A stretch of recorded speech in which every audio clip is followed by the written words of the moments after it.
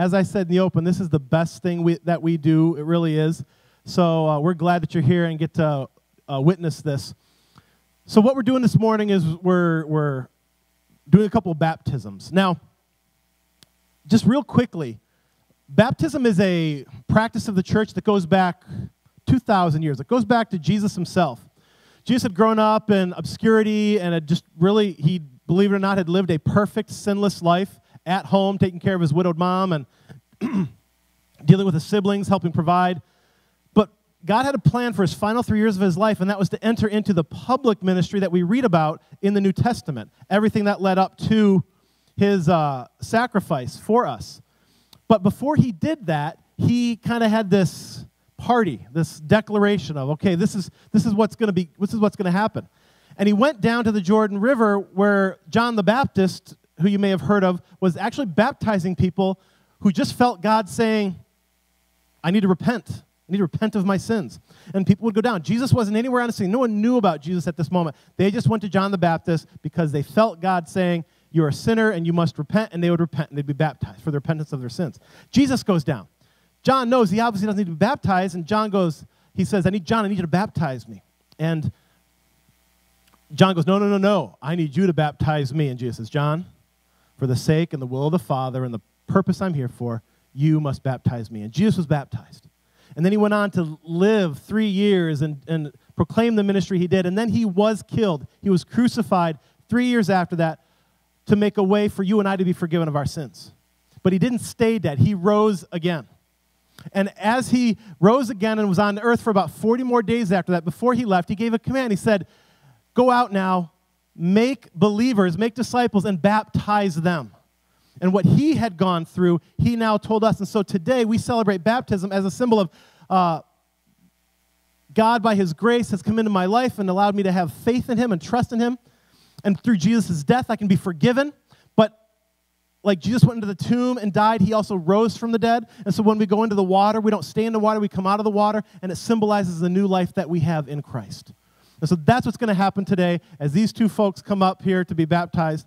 The second person uh, who will, be baptizing is also has a connection.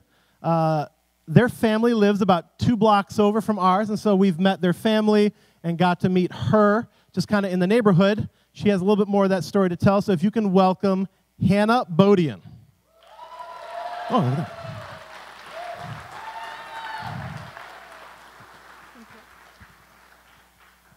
Hello, everyone. I am 22 years old, and about a year ago, I happened to meet Julie, Jeremy's wife, while she was out walking in the neighborhood. During our brief conversation, she told me about Rooftop and invited me to come out sometime. Not really interested, I said, yeah, maybe. You see, I thought God and I were good. Growing up Catholic, I believed in him and would talk to him, and as far as I knew, that was enough. At the same time, I was 20 years old, going through a divorce, making the best of the best of a bad situation, thinking I was happy, but I wasn't. A couple days later, on October 28th of last year, it hit me. Sheer panic fell over me, and I literally could not breathe. My spiritual eyes were opened, and I suddenly realized that I was not living my life for God. I was doing my own thing, and I was in trouble. I came to Rooftop. I met and talked with Jeremy that week, and hearing my story, he said, and I quote, This might sound weird to you, but this is the best news I have heard all day. It was weird. It turns out the Zilke family, kids included, and some people in the neighborhood had been getting together to pray for our neighborhood. They had specifically been praying that we, the neighbors, would feel a deep conviction of our sin, and through that, cry out for Jesus for salvation. Well, that is exactly what happened to me. Hearing the gospel, I repented of my sins, asked Jesus into my life, and wow, what a year it has been. The Lord gave me a loving small group, and I continue to grow with the help of some amazing people here at Rooftop. Also, I can finally read my Bible without condemnation. and God is still able to convict me of sin that is still in my heart. I'm not a perfect Christian, but through Jesus, I've made, been made new, and I press on. In fact, these are the verses God has given me to share with you Philippians 3 12 through 14. Not that I have already obtained all this or have already arrived at my goal, but I press on to take hold of that for which Christ Jesus told me, to, took hold of me. Brothers and sisters, I do not consider myself yet to have taken hold of it. But one thing I do, forgetting what is behind and straining toward what is ahead. I press on toward the goal to win the prize for which God has called me heavenward in Jesus Christ. Thank you.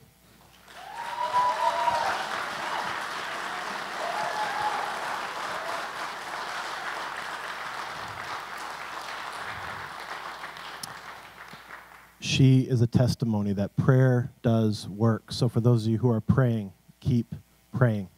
Let me pray for these two. Father God, we are so grateful and thankful for this morning and for this opportunity. Thank you for these great stories. Thank you for a young man who just had a mark in his heart from you. And when given the opportunity here a short while ago, realized what that was supposed to look like and, and how to pursue and go after that. And Caleb's been persistent. We've asked him to wait and to just share and to kind of rest in it to make sure it's not an impulse thing, and he has been persevering. And we admire him for that, and we're grateful to celebrate with him today through baptism. And for Hannah, thank you, God, for doing what you do. It's not about us, it's not about what we do, it's about your faithfulness, your love for her, your wanting to call her as your daughter under yourself, and for us just to be able to witness. And uh, by your grace, be have a little small part in that. I pray, I pray that we'd be a church that has their ears open, that we'd be listening and looking for these opportunities of men and women who are destined to come to know you, and we might have a, a small role uh, in, in seeing that come about and then being able to give you great praise and glory for it. We thank you for Hannah for her story, for her perseverance to follow after you, um, as Philippians 3 shares. And we ask all of this in Jesus' name. Amen.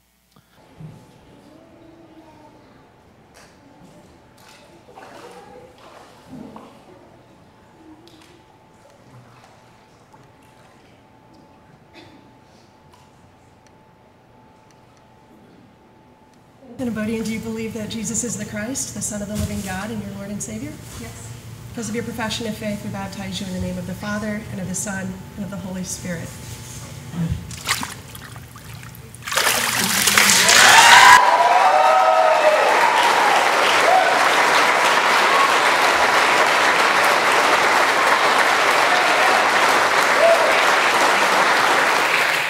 You too can be baptized by the power of the Holy Spirit. Uh, we would love to baptize you. In fact, that's what we do here at Rooftop. We started this church 17 years ago to baptize people in the kingdom. So if you're feeling God's call in your life, if you feel like you need to be forgiven of your sins and you want to start anew, you can do that here.